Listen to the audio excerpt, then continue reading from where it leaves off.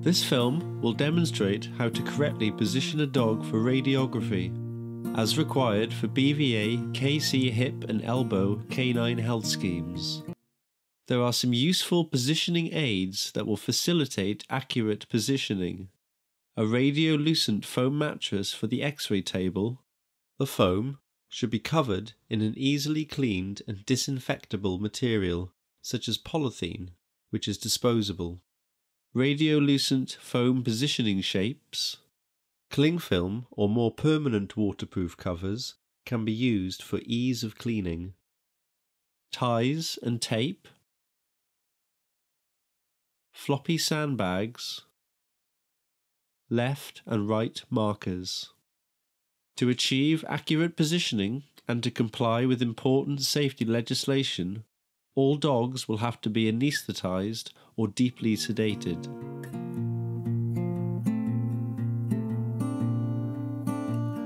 For the ED scheme, mediolateral views of both elbows are required, one with the elbow in a neutral position and the other with the elbow flexed.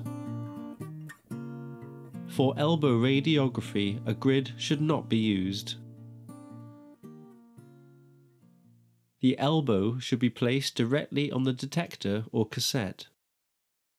The contralateral thoracic limb needs to be retracted over the dog's thorax using ties or floppy sandbags. When the elbow is flexed, there is a tendency for rotation, so elevating the carpus with a foam wedge will prevent this from happening.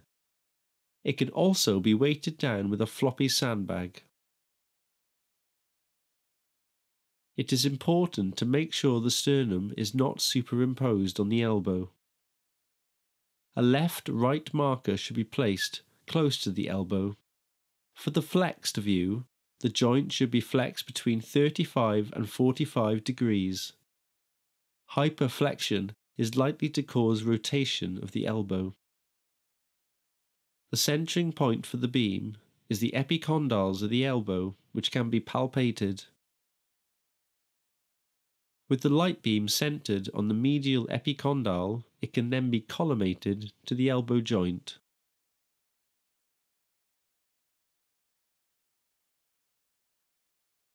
For the extended or neutral lateral view, the carpus can be weighted down with a floppy sandbag.